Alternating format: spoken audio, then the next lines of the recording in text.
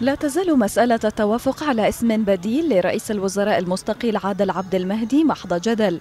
ففي الوقت الذي يجمع مسؤولون وبرلمانيون عراقيون على عجز القوى السياسية تقديم شخصيات مناسبة أو مقنعة لمنصب رئاسة الوزراء تستمر التظاهرات السلمية التي ارتفع سقف مطالباتها إلى اختيار رئيس وزراء مستقل من خارج الوسط الحاكم منذ 16 عاماً.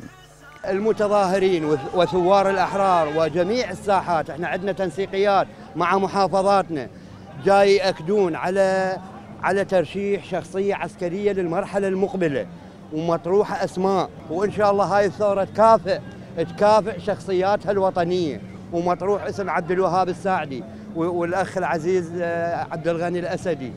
آه، فالرأي للشعب إن شاء الله.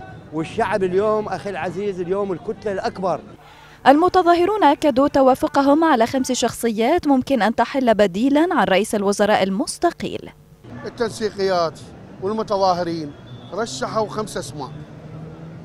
من ضمنهم رحيم العقيلي وأكو قادة عسكريين متقاعدين وذنيك الأسماء. عبد الغني الساعدي. فإحنا هم ليش يبقون يلفون يدورون إلا يجيبون واحد من ضمن العملية السياسية من رحم العملية السياسية؟ إذا يريدون يحلون هالنزاعات يرشحون واحد من هؤلاء الخمسة حتى تنحل المشكلة وإحنا ما نريدها تطول مجمل الأسماء التي تم تداولها رفضها المتظاهرون كونها تمثل أحزاب السلطة الحاكمة مطالبين بترشيح أسماء نزيهة ومشهود لها بمواقفها الحقيقية تجاه البلاد. حتى أن الاجتماعات بين رئيس الجمهورية والكتل السياسية لم تتوقف إلا أنها لم تسفر عن اختيار أي مرشح بشكل نهائي لغاية الآن.